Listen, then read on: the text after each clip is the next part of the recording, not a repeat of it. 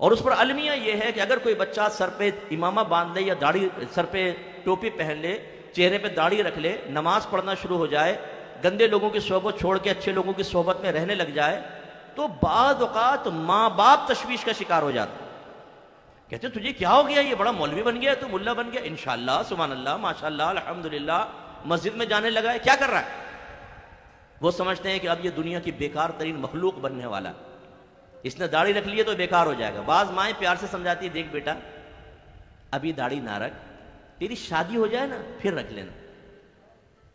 अब बेटा बेचारा खामोश हो जाता है, वरना दायरा दब में रह के कहे कि अम्मी जान, आप भी एक औरत है, आप तो दाढ़ी रखने नहीं दे रही। वो दूसरा तूफ़ान घर में आएगा, वो दाढ़ी रखने देगा मुझे। जो पहले ही मुझे लाइक पसंद ही यूँ करेंगे कि बगैर दाढ़ी वाला है भी हमारी बेटी देने के लिए तैयार है, मैं दाढ़ी रखूँगा तो फिर वो तो नाराज़ होगी। मैंने इंडिया में जाके एक दफ़ा बयान किया, एक नौजवान ने दाढ़ी रखी, उसकी बीवी ने हंगामा कर दिया। दाढ़ी कटवाओ, वरना खुदकुशी कर लूँगा। वो घबरा के मेरे पास आया कि मुफ्ती साहब, वो तो खुदकुशी कर लेगी। मुफ्ती साहब तो नहीं, उस जमाने में तो अकमल भाई कहते थे, मैं आलिम भी नहीं था। मैंने कहा, तुम ऐसा करो, उसके हाथ में छुरी पकड़ा दो। और बोलो, ले, कर ले खुदकुशी। इनशाला कुछ नहीं होगा। वो गया, उस बीवी ने धमकी दी, उसने कहा, मार ले अपने आप को। वो वार नाकाम गया बीवी का। फिर कुछ अर्से बाद वो गायब हो गया तो मैंने पूछा कि वो कहाँ गया? उन्होंने कहा, मुस्ताब, उसने तो अकमल भाई, उन्होंने दाढ़ी कटवा दी है। मैंने कहा, क्यों? कहा, असल में उसकी बीवी ने इतना उसको फोर्स किया और आखिर में कहा कि मुझे तलाक दो, मैं घर से जाना चाहती तो उसकी माँ ने कहा कि, बेटा, देख, तू अपने दाढ़ी की वजह से घर खराब ना कर, दाढ़ी मंडवा बहुत सी माएँ अपनी बच्चियों को बुरखा नहीं पहनने देती। बोलती है, नहीं अच्छा रिश्ता नहीं मिलेगा, बल्कि तुम बंद सवर के हमारे साथ शादी हॉल में जाओ दावत नज़ारा बनो ताकि औरतें तुम्हें पसंद करें, तब अच्छा रिश्ता घर में आएगा। वो गैर मर्दों के सामने बाद अपने घर की बच्चियों को आने की तरगीब देती। अगर बच्ची स्कूल या कॉलेज के अंदर बाहर जाना चाहे तो वो उसको बुरका नहीं पहनने देती। इसी तरह बच्चा अगर रिस्क हलाल की तरफ़ आना चाहे तो उसको रोक दिया जाता है और कहा जाता है, बेटा, आजकल हलाल में गुजारा नहीं होता, हराम कमाओ। उन्हें अल्लाह तबारक वाले की कुदरत कामिला पे बिल्कुल भरोसा नहीं होता। इसी तरह अगर बच्चा नेक बनने लगता है, उसको वो कहते हैं कि नहीं, तुम नेक ना बनो, ठीक है, थोड़ी बहुत नमाज़ पढ़ो बेटा, ज़्यादा गहराई में ना जाओ दीन में। यानी दुनिया के गंदे समुंदर में नाक बंद करके जितनी गहरी डुबकी लगा सकते हो, लगा लो। लेकिन दीन के मामले में गहराई में ना जाओ। ये कौन समझा रहा है? घर के पेरेंट्स। सबसे बड़ी खराबी जिसकी वजह से हमारे बच्चे इतात से दूर हुए कि जब वो अपने घर के बड़ों को, चाहे वो माँ बाप हों, मामू हों, चचा, ताया फुप्पा सबको देखते हैं कि वहाँ मोजिन अजान दे रहा है, वो टीवी देख रहे हैं। बल्कि कहते हैं आवाज़ बढ़ाओ, ये पता नहीं मोजिन साहब इतनी ज़ोर ज़ोर से अजाने दे रहे हैं, आवाज़ बढ़ाओ। तो वो बच्चे कहाँ से अल्लाह तबारक वाली की इतात की तरफ़ माइल होंगे? जिस घर में कई कई साल गुजर जाए और उनकी गुफ्तु का मौजू मौत ना हो, कब्र ना हो अजाबात ना हो मैदान माशर में अल्लाह तबारक वाली की बारगाह में खड़े होकर हिसाब किताब देना ना हो, बल्कि दुनिया दुनिया दुनिया, रिश्तेदार, जाति मफादात, जाति लड़ाइयाँ, सिर्फ़ ये बच्चों के सामने बयान करेंगे तो उनका दिल आखिरत की तरफ़ कैसे माइल होगा? कैसे वो इतात रब की तरफ़ आए? सबसे बड़ा कसूर ये है। सिस्टर ने पूछा कि क्या बुखारी पढ़ते हुए सर ढकना ज़रूरी होता है दुपट्टे से? या अगर मर्द पढ़ रहा है तो क्या टोपी पहनना ज़रूरी है? देखें, ज़रूरी बमाना फ़र्ज़ या वाजिब नहीं है। ये तो कुरान पढ़ते हुए भी वाजिब नहीं है। आप सर ढक लें अच्छा अदब है। ऐसे बुखारी शरीफ पढ़ते हुए कि हदीस की किताब है अच्छा है, आप सर ढक लीजिए, लेकिन शरीयत की तरफ़ से इसका कोई शिद्दत के साथ मुतालबा नहीं। है चुनाच अगर बच्चा बरहाना सर कुरान पढ़ रहा है, या बुखारी सुन रहा है, आपने जाके थप्पड़ मारा, ज़ोर से टोपी क्यों नहीं पहनता? ये भी मतलब वही जैसे अभी मैंने आपको अर्ज़ किया कि हमें ये नहीं पता होता तबलीग करते हुए, तरबियत करते हुए, नसीहत करते हुए कि किस काम में शिद्दत करनी है, किस काम में नहीं करनी। वजह इसकी क्या होती है? फिर माजरत मैं माजरत इसलिए कर लेता हूँ नाराज़ बहुत जल्दी हो जाते हैं हमारे भाई बहन कि ख़ुद वालदेन को नहीं पता होता कि क्या चीज़ फ़र्ज़ है क्या वाजिब क्या सुन्नत मौकदा क्या गैर मौकदा क्या मुस्तहब क्या मुबा और क्या चीज़ हराम मकरू तहरीमी इसात मकरू तनजीही खिलाफ अवला जब आपको आमाल की दर्जा बंदी ही मालूम नहीं तो बाद आप एक मुस्त, गैर मुस्तहब काम पे जो खिलाफ अवला है बस उसमें तो डांटना भी नहीं चाहिए शरीयत पकड़ी हुई नहीं? लेकिन इतनी शिद्दत और सख्ती करते हुए नज़र आएँगे कुछ हद नहीं।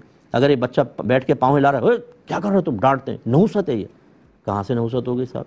आपने कहाँ से सुना ये नहुसत? है अपने पास से। वही सुनी सुनाई बात। शरीयत हम सीखते नहीं हैं और फिर तबलीग दीन का हमें शौक़ होता है। बाज़ अवत तो हम, मैंने ये देखा है कि बड़े अपने बच्चों को शुरू से इतनी गलत तालीम दे रहे होते हैं कि वो खिलाफ शरा चीज़ को जहन में रखे होते हैं। वही अपने बच्चों में मुंतकिल कर रहे होते हैं क्योंकि ना ऐसे लोग खुद उलमा से रबता रखते हैं, ना अपने बच्चों को रखने देते हैं। वो कहते हैं, हमसे सीखो बस, जो हमने सिखा दिया वो काफ़ी है। नतीजा बहुत ख़राब निकलता है, इसलिए ज़रा तवज्जो फरमाइए।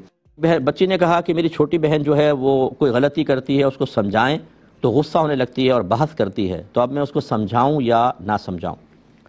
देखें आप अपने अंदाज़ को थोड़ा सा, हो सकता है आपका अंदाज़ तलख हो हो सकता है कि आप बेमहल अचानक टोक देती हूँ, लोग बैठे हुए हैं उनके सामने, ये नहीं देखती कहाँ करना है, क्या करना है। और हो सकता है कि आप थोड़ी शिद्दत पसंद भी हों बार बार टोकती हूँ, इग्नोर एक दो दफ़ा ना करती हूँ। ये चीज़ें होती हैं कि सामने वाले में बेजारियत और गुस्सा पैदा करती हैं। अगर तो तबलीग दीन करने के सिलसिले में आपकी मिसबिहेव का ताल्लुक़ है तो आप अपना रवैया ठीक करें। और अगर ऐसा नहीं है, आप नरमी से, प्यार से हमत से, तन्हाई में समझाती हैं, इसके बावजूद अगर आपकी बहन लड़ती है, गुस्सा करती है तो आप प्यार, मोहब्बत से समझाएँ, एक दो दफ़ा इग्नोर करें, फिर समझाती रहें, लेकिन सिलसिला मुनक़ ना करें।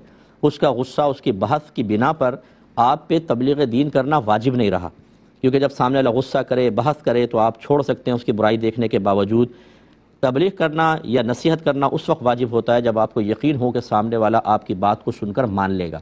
अब वो नहीं मान रही तो आप कभी कभार कहें, फिर दो चार दफ़ा इग्नोर करें, फिर कहें, ताकि आपका तबलीग का सवाब भी ज़ाया ना हो और हो सकता है कभी बहन अचानक हिदायत कबूल कर ले। ये कहते हैं, वालदेन को शरय मसाइल बताएँ, कोई हुक्म बताएँ तो वो लड़ना शुरू कर देते हैं और उलमा को बुरा भला कहते हैं, क्या हुक्म शरा होगा। देखिए, सबसे पहले तो तबलीग दीन करने वाले को देखना चाहिए, सामने वाला किस चीज़ में कोताही कर रहा है। अगर वो कोई ऐसा काम तर्क कर रहा है जो अल्लाह ने उस पर फ़र्ज़ या वाजिब रखा है या कम अज़ कम चलें सुन्नत मौकदा रखा है तो तो आप इसमें ज़रा समझाएँ और थोड़ा सा ज़्यादा प्रेशर डालने की कोशिश करें। प्रेशर से मुराद वालदेन को डांटे डपटेंगे नहीं, लेकिन उसको नज़रअंदाज ना करें। इसी तरह से जस्ट अपोजिट अगर हराम काम कर रहे हैं या मकरू तहरीमी या सुन्नत मौकदा का तर्क, जिसको शरी इस्तेला में इसाअत कहते हैं, इनमें नरमी नहीं होती। यही बीवी बच्चों का असूल है कि इनको नहीं छोड़ा जाएगा फ़र्ज़, वाजिब, सुन्नत मौकदा और हराम, मकरू तहरीमी इसात अगर घर वाले इनमें कोताही के मुरतकब हो रहे हैं तो फिर इसको इग्नोर नहीं किया जाता। और इससे निचला जो दर्जा है, कि अगर इस तरफ़ आप देखें तो इसके बाद आता है मकरू इसके बाद आता है सुन्नत गैर मौकदा और मुस्तहब। और इसका जस्ट अपोजिट मकरू तनजीही और खिलाफ ओला अगर इनमें कोई मशगूल है, इसमें आप नज़रअंदाज करें।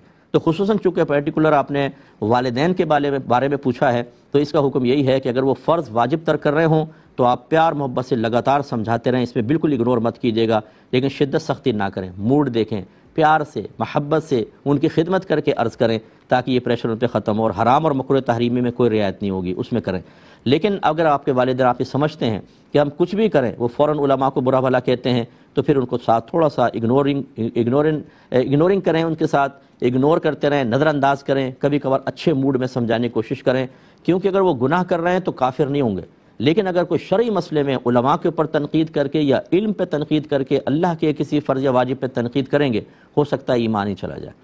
और इस सब का खुलासा यही है जो मैं अक्सर आपको अर्ज़ करता हूँ कि जब आदमी वक्त के ऊपर इल्म दीन नहीं सीखता, तभी हशर होता है आखिर के अंदर। क्योंकि हमारी सोहबत ऐसे लोगों के दरमियान होती है जो शरीयत पर टॉन्टिंग कर रहे होते हैं, उलमा को मुफ्तियान कराम को बुरा भला कह रहे होते हैं, भाई इन्होंने मौलवी ने तो दीन का बेड़ा गर्क कर दिया है।